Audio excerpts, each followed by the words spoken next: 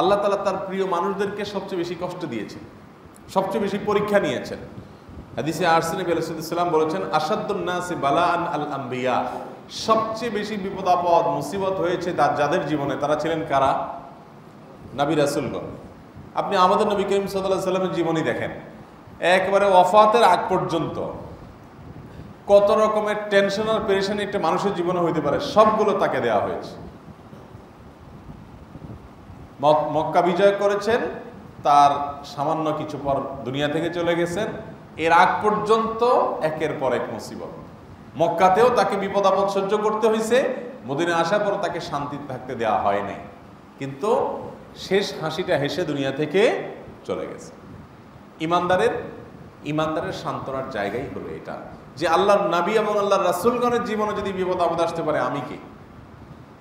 অনেকে আছে দেখবেন ফাসেক, ফাজের, পাপিষ্ট, এদের জীবনে কোনো বিপদ আপদ আসে না।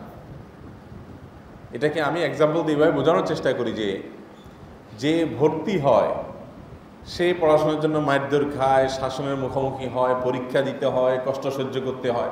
আর যে ভর্তি হয় না, তার তো এগুলোর কিচ্ছু নেই। মাসাই নেই, তার আর বুধবার কি? যে আল্লাহর প্রতি ইমানই আনে নাই, বেঈমান, তার তো হিসাবের খাতাই নেই। খাতাই নেই বলতে তার ভালো আর মন্দের কি? তার তো টোটালি মন্দ, অতএব সে তো অনন্ত অসীমকালের জাহান্নামী হিসাবে যাচ্ছে। আর যে আল্লাহ তালার প্রতি ইমান আনয়নকারী বান্দা, তার জীবনেই তো কঠিন হয়। আপনি যখন দেখবেন আপনার ছেলেটা সিগারেট হাতে নিছে, আপনি টের পান আর চোখের সামনে কোনো রকম পড়ে যায়, তাহলে আপনি তো উত্তম মধ্যম দিবেন সন্দেহাতীতভাবে তাকে শাসন করবেন।